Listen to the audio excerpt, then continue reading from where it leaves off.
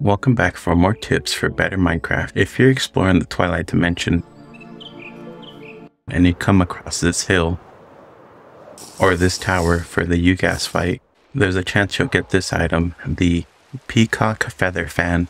It can be enchanted with Mending and Unbreaking 3. Now you can either use this to hold back enemies or to replace your rockets completely. This tip comes from 8. Thank you.